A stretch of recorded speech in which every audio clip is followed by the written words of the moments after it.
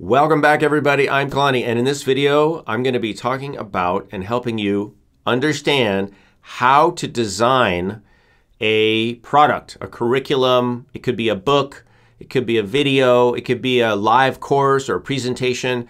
So if you are interested in designing anything, whether it doesn't have to be a product, it could be just, you know, somebody asked you to give a presentation or do a workshop, or you're an author or you you want to write a book or do some sort of product, uh, or you're going to be uh, making videos like a channel like this, doing this.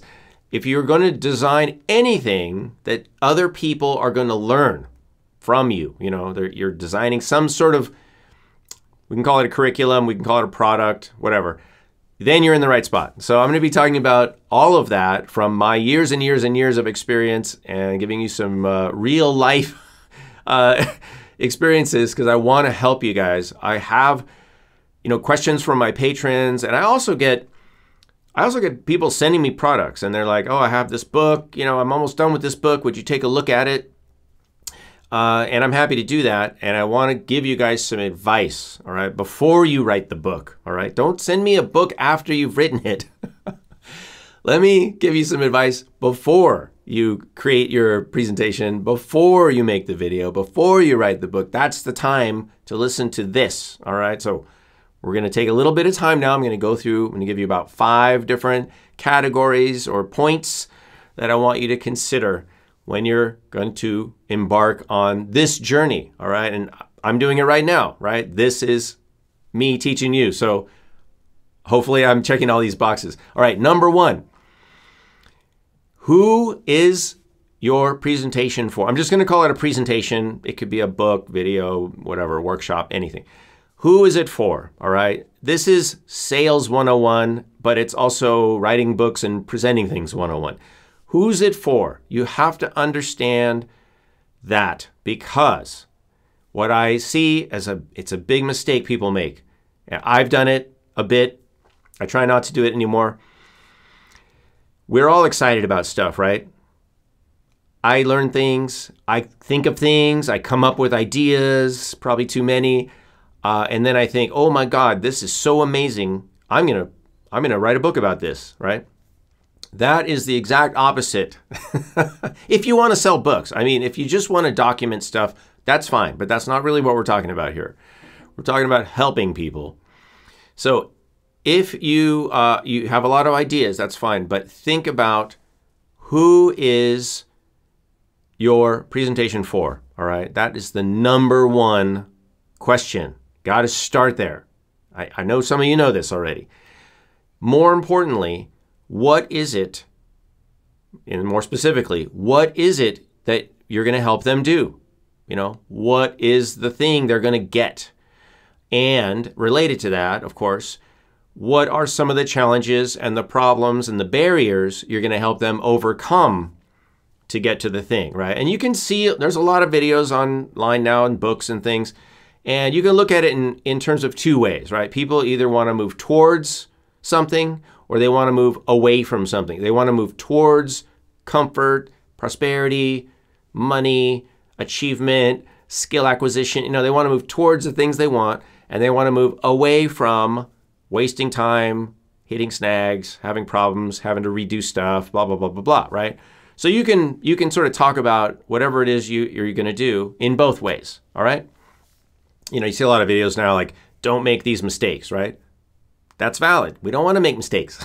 so I'll, I'll, click on a video that says these are the most common mistakes people make when they're trying to do XYZ. Um, but I also want to click on the video that says these are the things you should do when you're trying to do XYZ. All right, so enough on that. That is, though, related to who is this for? All right. I just touched on this, but I'm going to put it as the second point in this talk, which is what are they going to achieve? You know, what are the skills, competencies, knowledge, whatever they're going to uh, take away from your presentation. And that could be a short video or a medium length video like this one, medium long. Uh, it could be a book, it could be a series, it could be workshops, it could be a whole series of workshops, whatever it is. But understand what it is, you know, that you're starting with. What are they going to start as? What are they going to end as? That's important to be able to communicate and just choose. You know, you we don't want to try to do everything for everyone. I'm going to talk about this as we go through, but I'm mentioning that now. It's important because when people consume something, they usually have a certain goal, right? I know when I watch videos or I get a book or I, you know, go to a blog or something, I want to I'm going there because I just searched for something specific. I want that topic. I don't want everything the person knows about everything, right? Uh, sure, it's great to include options, maybe some links and blah blah blah. But that's what we're talking about right now is scope, and we'll we'll get to that in a second. Also, well, actually, let's just get to it right now. we're talking about scope, right? What is included in the whole presentation, and that is so important because you guys, again, I know how easy it is to spin off and get on this topic. Oh, and that reminds me, and this, and that. Oh, yes, and you should. And here's another thing I know, right? Like, have you ever watched a video or you see a, you get a book, and you're just like, okay, well, this person just knows a lot of stuff, obviously, but what's in it for me? I picked it up for this reason. That's what I want to get. All right. So really, think about yourself as a consumer. Why would you get a book or watch a video or go to a program? Now, when you're designing, that, that's what those people are thinking. They're coming to you or they're buying your product, they're consuming your stuff uh, for what reason? You need to know. Now, how do we know? Some people ask. I like to ask people. I do it, do a survey. Uh, what do you guys want? We know do some research. What are the most popular books on this topic? What are they, you know, how do they work? What are they doing? who's doing what out there, you know, who's having the most success. And of course, that's just kind of business 101 marketing. Again, you know, we see that a lot of something successful, we see a lot of pop ups just replicating. But I'm not suggesting that you do that. I'm saying that if you have a scope of knowledge, you can do this and this and this and this. Just pick something based on, you know, the feedback you're getting, the questions that you ask people, and what they tell you. That's just good research, all right? Do your due diligence. Okay, so scope, we have to consider what's going to be included and then don't include other stuff. I'm telling you guys, I have I have had to trim I've probably trimmed more stuff out of books that I've written than end up in the book, all right? And if you end up with that, you know, good for you because I think that points to discipline and it points to the fact that yeah i could i could talk about this but i'm not going to because they don't need to know that. They don't need that. That's not why they're coming here. So don't talk about this over here. Don't talk about this over here. Talking about this. All right. Here's an important one too. Um, and this again relates to who is your consumer who's your customer uh, because ultimately that is the important question is what are the prerequisites or you know recommended knowledge base, experience base, skill set. Um, maybe it's members of a certain profession, right? Like I teach music teachers a lot of the time, or I might teach music therapists, or I might teach um, people from the community that are drumming, right? That they already know about drumming. Um, but whichever population I'm going to address, I'm going to create some presentation for, I know because I'm a member of those communities, I know what pretty much their, you know, base level knowledge, right? I already know the language. I know what they need to know to become whatever title they have, right? Whatever profession they are.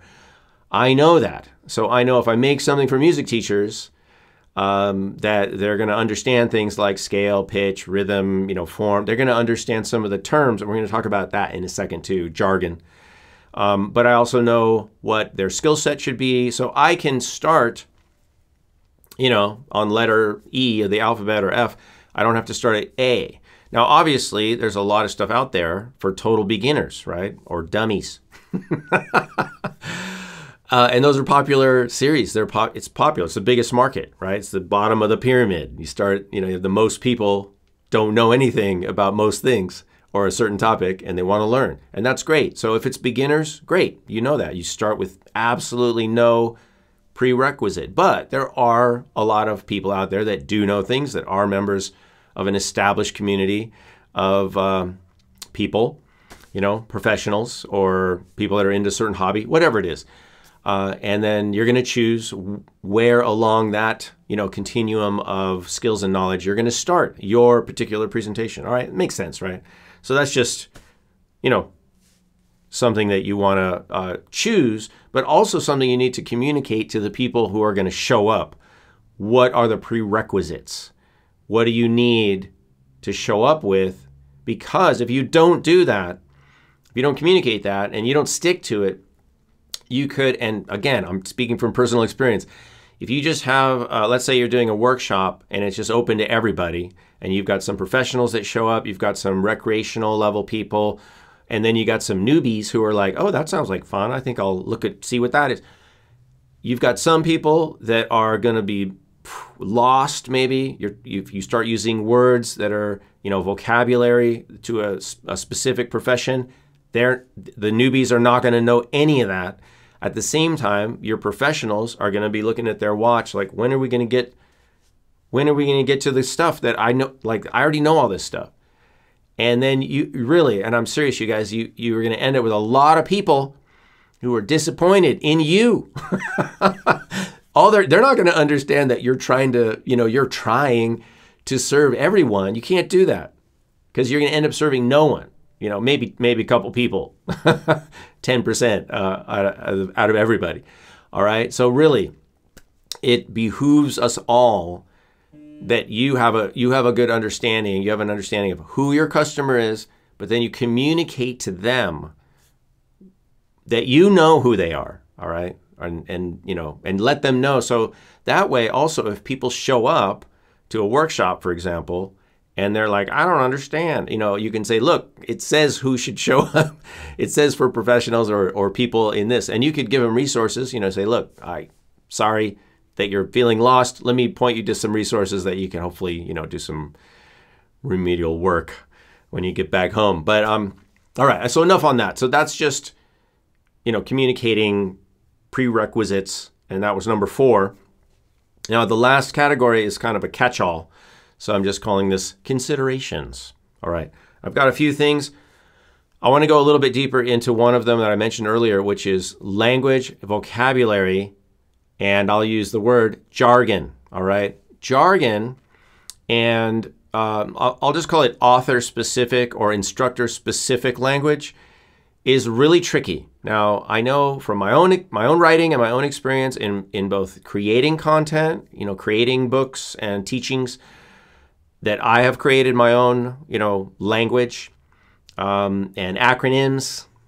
Don't we love those acronyms? Um, I also know that uh, as an attendee of different people's workshops, you know, that I've I've been on the consumer side of that, and it's tricky. Um, acronyms can be good, but you know, if people don't know what the acronym means, it means nothing. All right, you need to know, or you just don't know. Jargon is the same way. Um, a lot there's a lot of jargon that tends to get developed within a community. Uh, you need to uh, get a sense for is the person who's consuming your product a member of that community? Are they going to understand the terms? Because I don't know about you guys, but it's very, again, it's it's just kind of annoying and tedious to have to keep flipping back to an appendix, looking up terms, you know, going back and forth. It's just not. It's not smooth. It's not, and, it, and you feel kind of annoyed. I do anyway. I'm like, can you just say what it is instead of using like your special word? that you came up with. So here's my advice to you as an author or creator. If you can communicate the idea using existing plain ass language, yes, I just said that. if you could just use plain language, just do that. You don't have to brand. And let's face it, a lot of this, a lot of the jargon stuff is branding by the whoever is doing the workshop because they, you know, they want I guess they want to feel special or they want people that show up to feel special. And it's also a way for, and I'm being totally honest right now, and we all know this, I'm just going to say it. It's a way for people to kind of brand their participants. And because if I give you a bunch of special words to use and then you go off and you start using your special words, you're going to feel special. The people who came to the workshop are going to feel special because they're like in the in, you know, they're in the know. But it's kind of like I don't I don't really see the value in that uh, personally, and it's just a slippery slope. So be careful with the acronyms, the jargon, the special words. just just use plain language. All right, that that's my advice. You're gonna you're gonna well, it's gonna be more welcoming and more inclusive if you do that. Um, another point is what we're just gonna call, or I'll call procedure or process. Obviously, if you're gonna be teaching something, um, you know, there's a beginning, there's a step one, step two, step three, and bam, now we're over here, right? So if I'm teaching songwriting, I might start with, well, okay, let's look at what a song is. What are the elements of a song? We've got music, we've got chords, we've got a rhythm, we've got a beat, we've got lyrics, we've got form, we've got a melody. Uh, there's different ways of harmonizing the melody. Um, now, let's uh, let's pick one of those areas, and we'll look into that a little bit. Um, how do we come up with lyrics? You know, are we going to get them from a poem? Are we going to get it from a personal story? Are we going to pick a theme and we'll just talk about it? What are we going to do? We're going to put a bunch of words in a hat start pulling them out.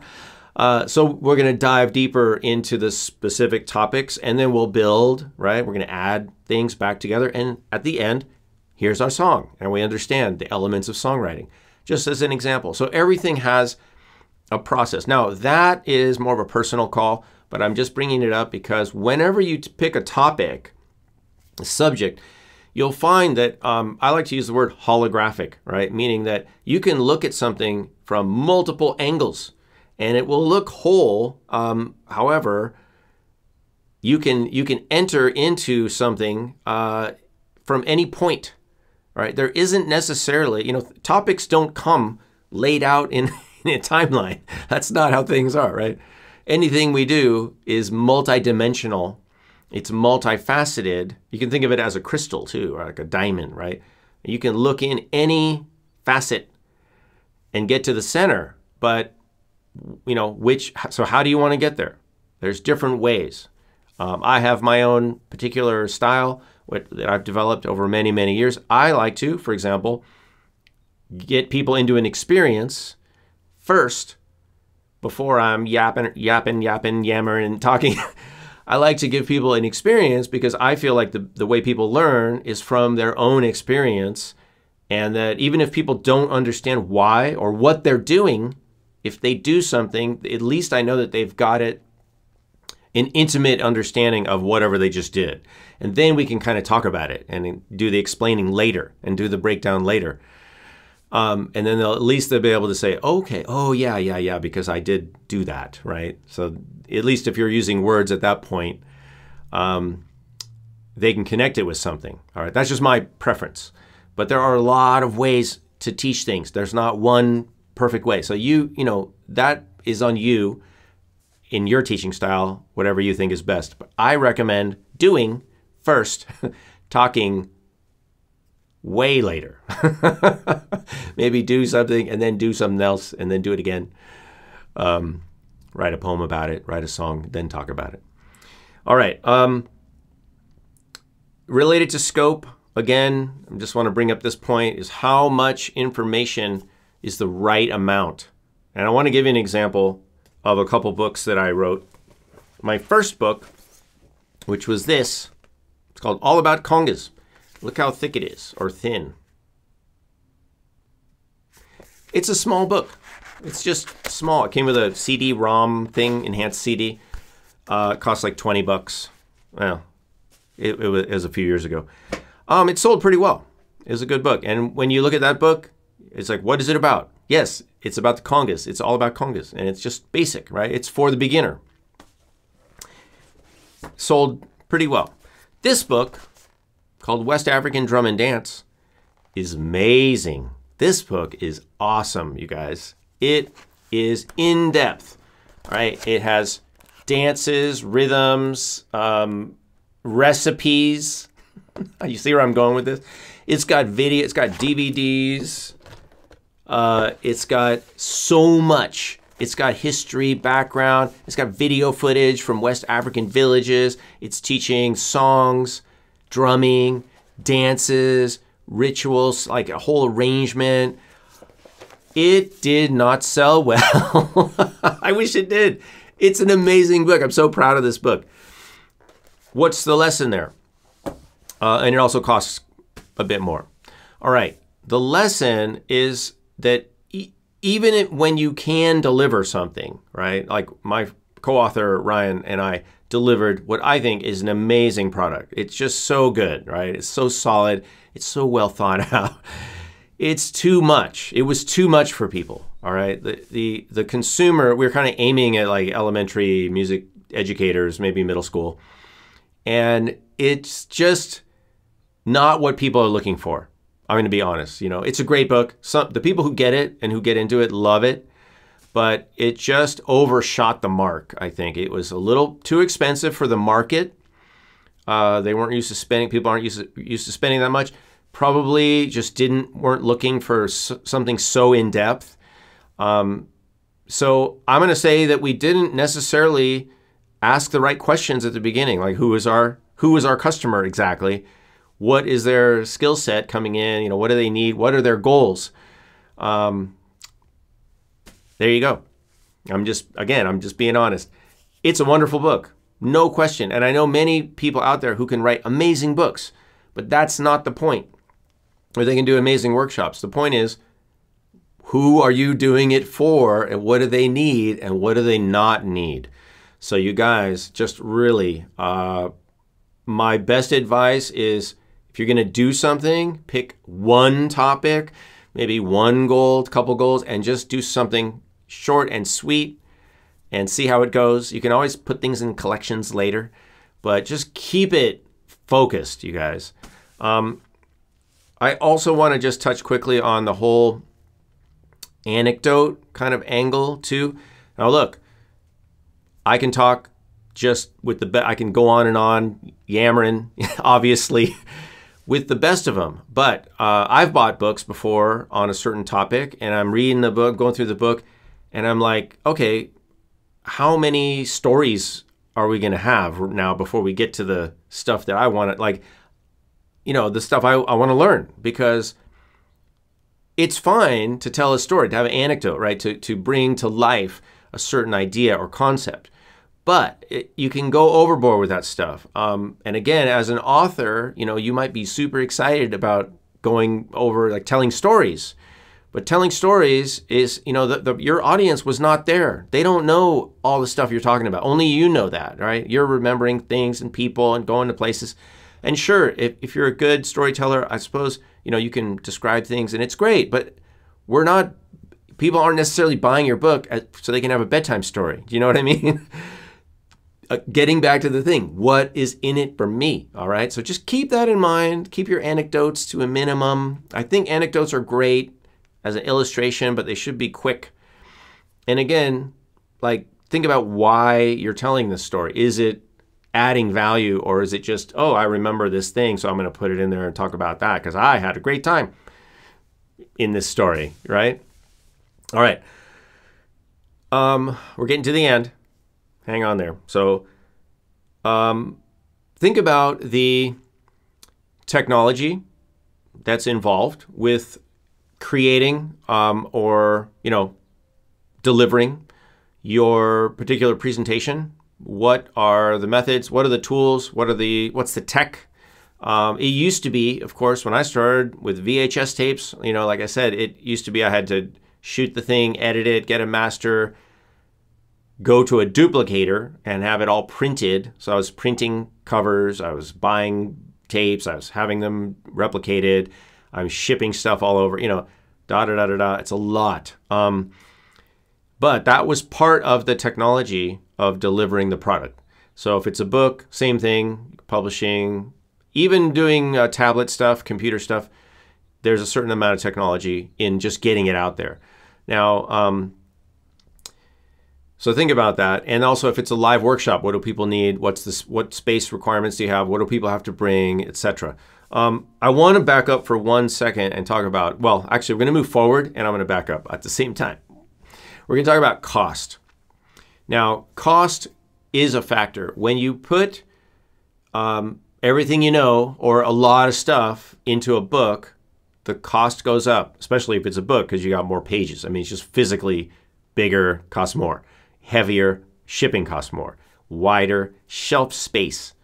All right. The consumer, um, there there is a cost, right, to get the product. Let's just stay on the book for a second. The book costs more. Okay, fine. I'm willing to spend the money on the book. But what you're also doing when you write a, a long book or you have, you know, a big set of presentations, like a lot of videos that people are going to purchase, for example, is you're also increasing their personal cost in terms of time and energy. All right. Time is money, you guys. So think about your customer, think about what they need, and think about what they don't need.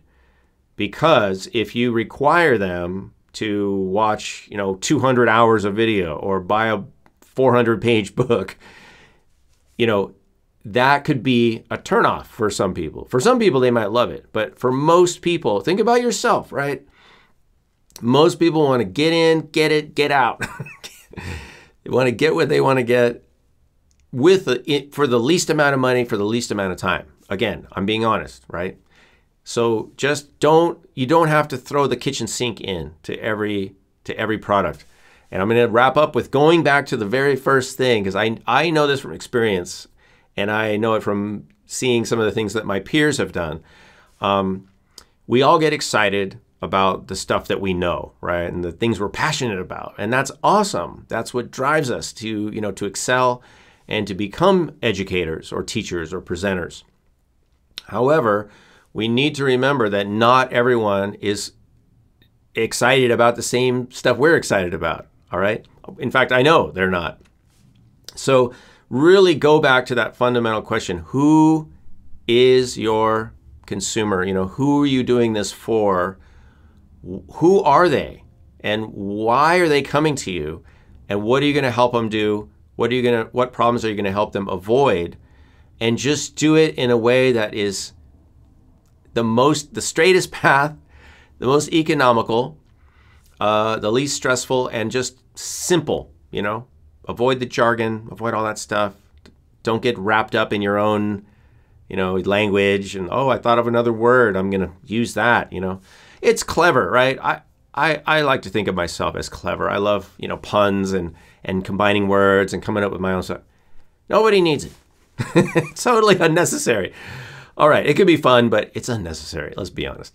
All right, you guys, I'm going to wrap up. Um, if you'd like to continue this dialogue with me, or you'd like to learn more, you can do that right here at patreon.com slash Kalani. Uh, we are a community supported channel, of course, and um, take advantage of it if you like. A lot of people do. But if this, uh, if you decide not to, that's fine. Uh, maybe just leave a nice comment down below. That'll be helpful. Hit the subscribe button while you're here. Doesn't cost you anything. Helps us. And hit the bell if you like notifications if I'm dropping other videos. Um, I hope it's been helpful. Thanks for stopping in, you guys. I appreciate it. And good luck with all your projects. If there's anything I can do to help, let me know. Send me a message. And uh, thanks for watching. We'll see you soon.